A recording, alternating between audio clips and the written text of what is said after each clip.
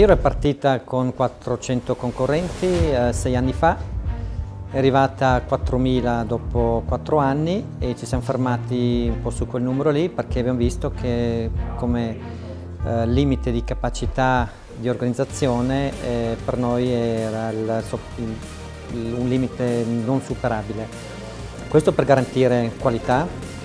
eh, logisticamente in paese, mh, mm, ma soprattutto sui percorsi che non ci sono ingorghi, che non ci sono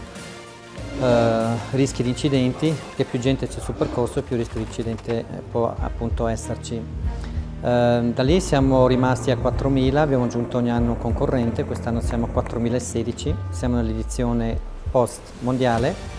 ci siamo riposti gli obiettivi, obiettivi di voler eh, rafforzare l'immagine della Hero come evento mountain bike marathon primo al mondo ehm, grazie appunto al fascino che questo maratona appunto emana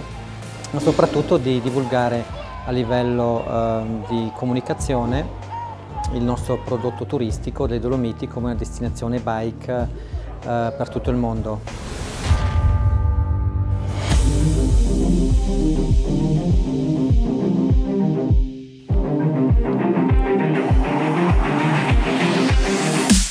In modo immediato la Hero genera circa 8.000 arrivi nel weekend della maratona che generano dai 20 ai 25 mila presenze, oltre alla mm, importante comunicazione che viene generata attraverso i media,